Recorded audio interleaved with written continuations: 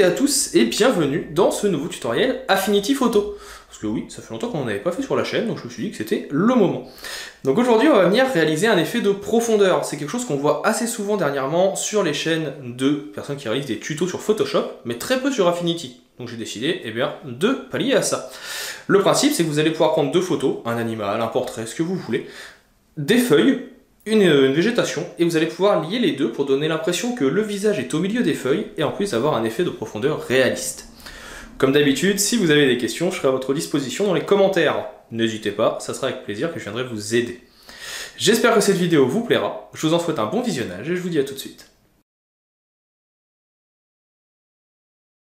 Passons donc à notre exercice de mise en profondeur sur Affinity Photo. On va commencer ici par venir prendre notre outil de lasso, dit sélection à main levée, pour venir, eh bien, comme son nom l'indique, venir faire une sélection rapide de notre petit loup.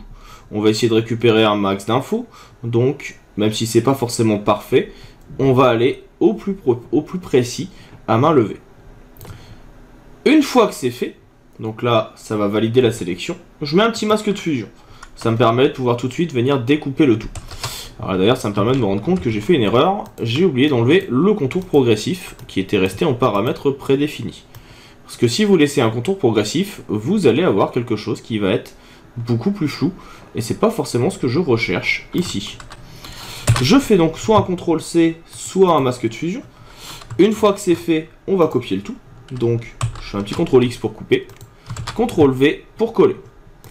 La tête de mon loup, je vais venir l'agrandir ici pour qu'elle soit un peu plus imposante dans la composition.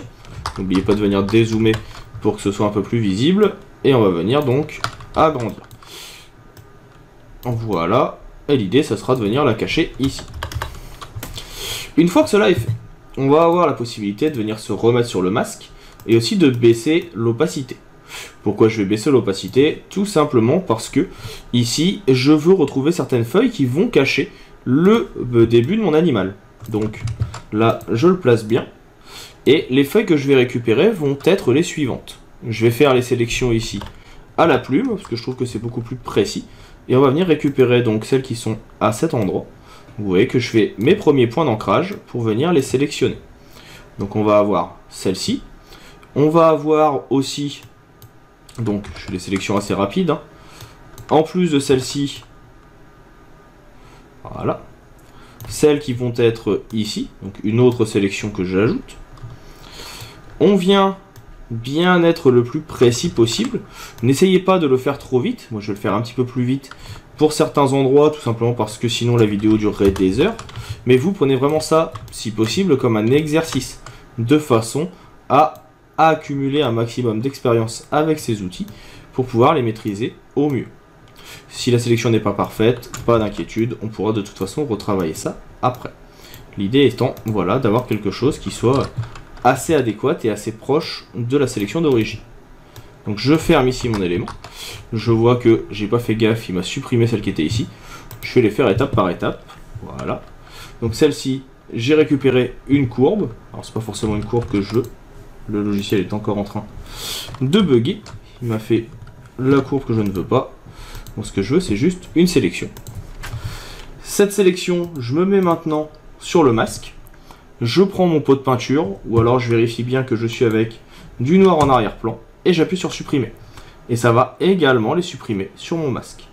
Et on peut reprendre notre autre courbe, faire une sélection, cliquer sur le masque et supprimer. Vous voyez que ça fait la même chose. Là, je vais oublier un petit morceau, pas d'inquiétude. Vous venez appuyer sur la touche X pour reprendre du noir. On voit bien que le noir ici est sélectionné en premier. Et vous venez peindre sur ce que vous avez oublié d'effacer. Donc ici, cette partie. On va zoomer un petit peu et on va venir attaquer le reste. Donc pour ça, on reprend notre plume. On va venir récupérer donc celle-ci. Tout ce qui va être là, en fait, on va pouvoir venir le supprimer directement.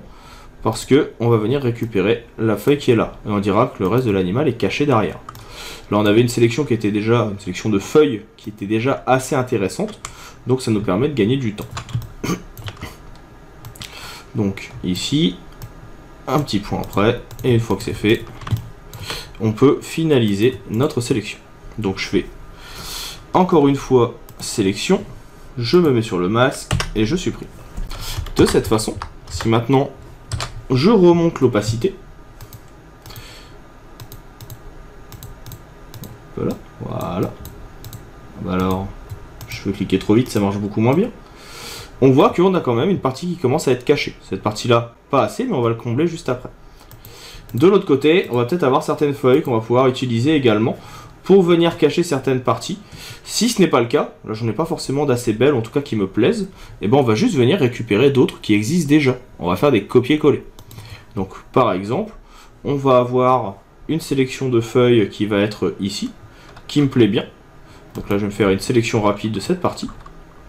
Toujours avec la plume, hein, mais bien sûr vous pouvez encore une fois, hein, je le répète, choisir l'outil que vous préférez. Ça peut être l'outil de sélection rapide, ça peut être le lasso, vous pouvez le faire si vous êtes un adepte de, euh, du travail avec euh, le pinceau et les masques de fusion, directement de venir euh, faire votre tracé au masque. Il n'y a pas de, bonne ou de mauvaise façon de faire. Il y en a qui sont plus rapides ou plus précises que d'autres. Ça dépend de votre façon de travailler. Ce qui compte, c'est que vous ayez atteint le rendu souhaité Personne ne vous demandera jamais comment vous avez fait votre touche, on vous demandera juste euh, si le rendu est qualitatif.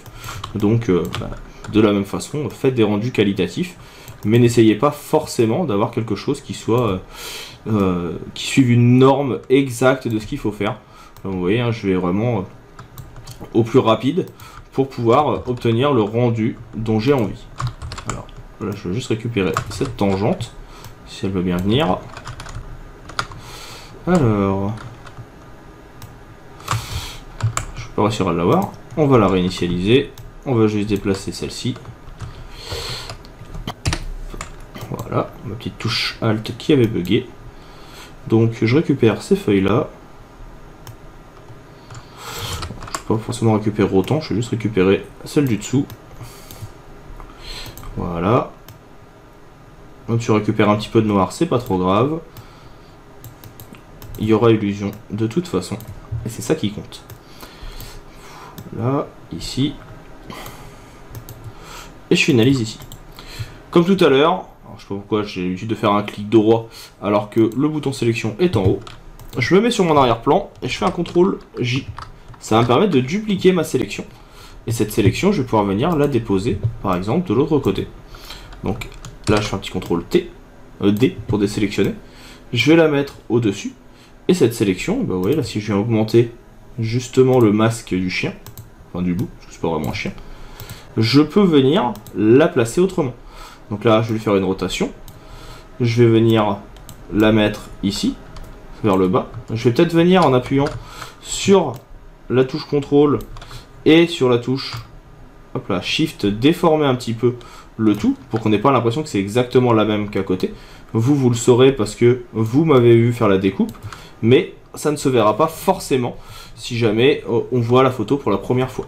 Donc autant en profiter, l'idée étant qu'on n'ait pas forcément quelque chose d'identique à chaque fois. Ensuite, là je vois que j'ai une petite feuille toute seule que je vais pouvoir venir utiliser également pour venir cacher le dessus des oreilles. Donc autant en profiter, elles sont déjà là. Ça évite de faire de multiples copier-coller encore une fois, qui ne sont pas forcément adéquates.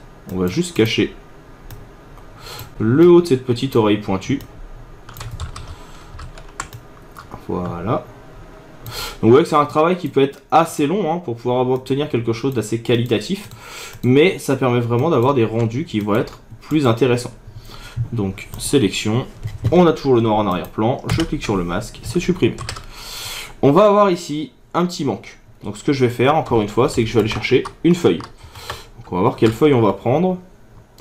Je pense que je vais prendre eh ben, pas forcément celle-ci, bah celle-ci qui est grande là, qui cache l'œil, mais qui n'est pas forcément placée au bon endroit. Donc je viens la réaliser, la sélection, et on va la récupérer de l'arrière-plan pour la mettre par-dessus, mais à un autre endroit.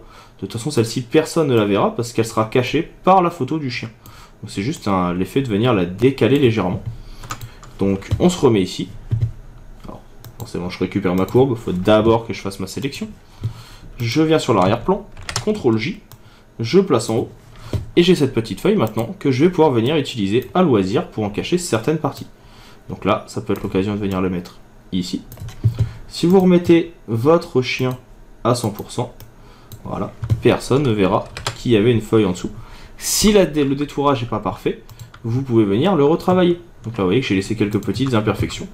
Vous mettez un masque de fusion. Vous prenez votre pinceau. Vous pouvez faire CTRL, ALT, clic gauche pour modifier la taille ou la dureté. La taille, c'est en allant de gauche à droite. La dureté, c'est en allant de haut en bas. Moi, je vais mettre à une dureté de 50%. Et ça va me permettre, ici, en venant peindre avec du noir, d'avoir un peu plus de précision. Et donc, d'effacer, vous voyez, les parties que j'ai fait en trop, où j'ai laissé un peu de noir qui ne m'intéresse pas. Et le fait d'être à 50%, ça ne floute pas trop. Donc ça fonctionne plutôt bien. Là, je vais juste venir effacer, je vais regarder, voilà. Je vais juste venir effacer manuellement pour faire que cette morceau de feuille, ce morceau de feuille, passe en dessous. J'appuie sur X pour venir re-rendre visible si besoin. Et comme ça, on a nos deux feuilles qui se fusionnent. Ce morceau de feuille, on va le réutiliser. CTRL J pour le dupliquer. On va venir le mettre en haut. Voilà. On va venir l'agrandir. On va peut-être même venir lui mettre un peu de déformation. Donc là, on va... ça on n'y touche pas. Je vais mettre un petit cadenas d'ailleurs pour qu'il arrête de bouger. Comme ça, je ne ferai pas de bêtises. Ce morceau de feuille qui est là, on va le mettre ici. On va cacher le haut avec. Donc on sera plutôt pas mal. On va peut-être venir faire une déformation. Donc pour ça, vous avez plusieurs possibilités. Alignement, géométrie, transformer. Pour faire des rotations et autres effets de déformation si besoin. Mais vous avez aussi accès à un bouton qui est ici, qui s'appelle grille déformante. Et quand vous cliquez sur un calque avec la grille déformante, vous pouvez venir placer des points. Et ces points vont vous permettre par la suite de venir déformer votre photo. Pour ça, vous double-cliquez, vous mettez en place un point, et vous voyez que ce point après va vous permettre de déformer votre feuille. Donc ça vous permet d'être beaucoup plus précis, de faire des feuilles un peu différentes, qu'on n'ait pas l'impression d'avoir exactement la même qu'en dessous. Comme ça, vous voyez, je viens retravailler pour qu'elle se fusionne bien. Là, je peux en profiter pour remonter une partie, pour en cacher une autre. Et donc, on n'a pas la même. Donc ça, ça peut être quelque chose qui peut être assez intéressant et assez utile pour les retouches. Donc là, on voit que j'ai quelques déformations parce que du coup, il décale dans le masque. Voilà, je vais la laisser comme ça. Donc là, on voit que c'est pas forcément la même que là. Nos retouches sont fonctionnelles. On voit quand même qu'il y a une feuille. Donc ça marche plutôt bien, ça me va bien. Et là, on va voir après un autre travail identique à faire de ce côté-là. Et pour ça, eh ben, on va aller reprendre une dernière sélection de feuilles. On va les récupérer, celle qui est ici. Donc pareil, on se fait une petite sélection rapide. N'oubliez pas de zoomer pour être au plus proche, parce que là je le fais de loin. C'est pas forcément hyper qualitatif. D'ailleurs, vous remarquerez que mes détourages ici ne sont pas hyper qualitatifs. Hein. L'idée étant de vous montrer le rendu que cela peut avoir. Si je devais faire des détourages vraiment précis, ça pourrait prendre beaucoup plus de temps. Euh, je suis pas sûr que vous ayez envie d'avoir une vidéo qui dure 4 heures où vous me voyez faire du détourage en vous racontant encore et toujours la même chose. C'est pour ça que certaines parties sont faites un peu plus rapidement. On va garder la petite partie qui est là pour venir la mettre de l'autre côté aussi. Voilà. Donc, sélection. On se met sur l'arrière-plan. CTRL J pour dupliquer. Vous connaissez maintenant. On vient ici.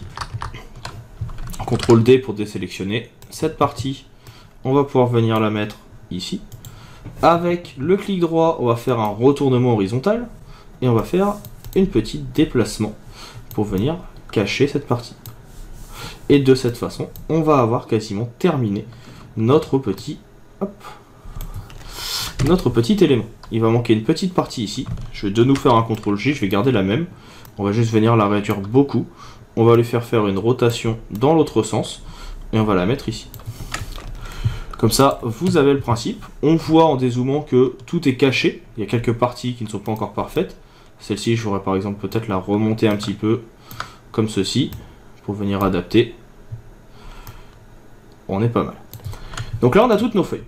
Toutes ces feuilles ici, je vais venir faire un CTRL G pour les mettre dans un même groupe. Parce que c'est bien d'avoir fait les contours, mais maintenant il faut venir retravailler un petit peu l'incrustation. La première chose que je vais faire, c'est un calque de réglage en mode niveau, que je vais mettre tout en haut. Ça va me permettre de venir assombrir certaines parties, aussi bien sur le loup que sur les feuilles, et faire ressortir certains contrastes. Parce que je trouve que les noirs n'étaient pas assez noirs. Je vais en profiter également pour créer un nouveau calque, qu'on va mettre au-dessus du loup, mais en dessous des feuilles. On va prendre un pinceau, CTRL, ALT, clic gauche pour venir l'agrandir énormément, et je vais venir mettre une opacité à 0, euh, une dureté à 0. Je vais appuyer sur X pour mettre du noir. Et l'utilité de ce calque, ça va être de venir peindre sur le loup, uniquement sur le loup pour ajouter des ombres. Donc pour ça, je viens mettre le calque ici, en dessous du masque. Et là, vous voyez, si je viens peindre, ça n'apparaît que sur le loup. Je vais me mettre un peu au-dessus, parce que l'idée, vous voyez, c'est de vraiment faire le tour pour venir créer un effet de profondeur, comme s'il était caché par les feuilles.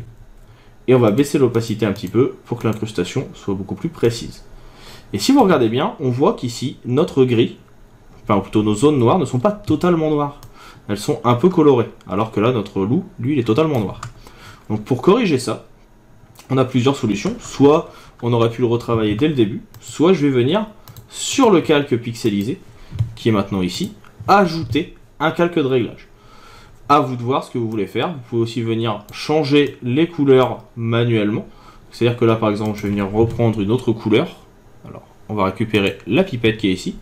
On voit que le noir, c'est plutôt celle-ci. On tire plutôt sur du vert.